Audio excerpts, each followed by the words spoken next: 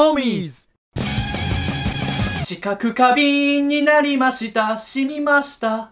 いやーついにあの歌やっちゃうんですか？すごい盛り上がってます盛ねり上がってるらしいですね。まあ、スパイファミリー、まあ、潜入捜査ですけども、はい。学生も潜入捜査を唯一する日があるんです。あるんですか、はい。修学旅行のホテルでございます。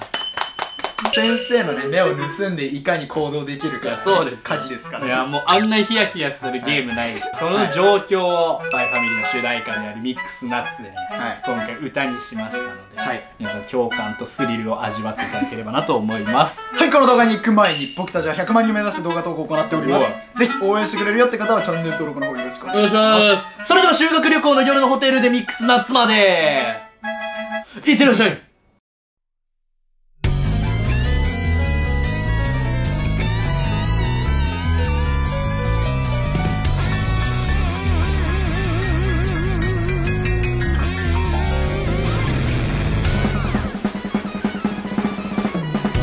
ホテルに詰められたキッズのような僕らは誰もがそれぞれの部屋移動する。チャンスを待ってる。風呂は忍び込んだ恐怖のティーチャー。見回りドアから覗きながら微笑み浮かべる。ダイブするボロベッドの上絶望の音が部屋に響いた廊下で手飛び流しまるあれちょっと待ってカードキー中に置いたまま誰にも言わないだ言ったから教えためっちゃ好きなんだどこ探しても見つからないしおり水に挟まったまま枕だけエスカレートしか裁縫しさのショート時刻のすぐ後やめろジュース買いに行くあな。たがいる何分待ってても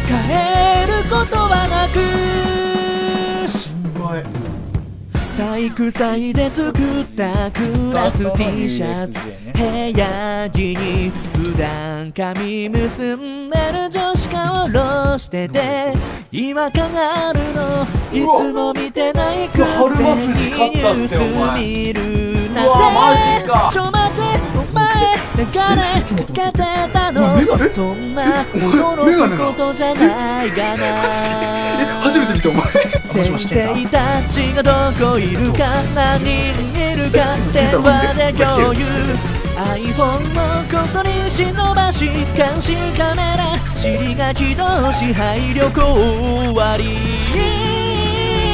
部屋に集まって夜通しトランプはう。ろマ歌詞の一つも見つからない不法所持しまくるただの紙どっかいた直後に戻ってくる。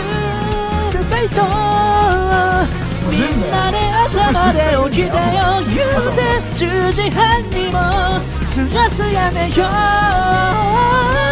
靴の音だけで先生来るの気づく黒906と907でニュースとライブをコラボすな繁盛会議ってきただけで謎やばい。情報を得ました初日に告白撃中その後旅行終わるまで不足気まずい。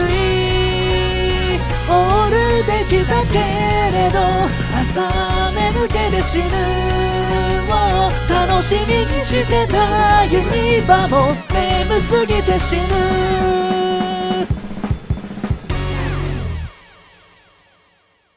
おかえりなさはい部屋着っぽいねこの T シャツそうね触れてなかったあ触れてなかったね。これ部屋着ね。部屋着で。この撮影をするためだけに男2人で部屋を貸し切るというね。気持ち悪いでしょ、絶対ホテルのフロントの人を怪しんでたよ。しかも、うリアルなうん。3時間ぐらい貸し切るっていうね。しかもなんかさらに怪しいのが三脚とカメラ持ってるからね。こいつら何すんのって思われて。もうな中学の時はもう孝太郎事件のああ孝太郎はうそうねね。部屋に。うん隠れて先生が総出で部屋を探してね。最後無事怒ってたからね。啓太先生。は いこの動画がいいなと思ったらチャンネル登録高評価と Twitter、Instagram、TikTok のフォローもよろしくお願いします。また次回の動画でお会いしましょう。バイバイ。アーニャ編集嫌い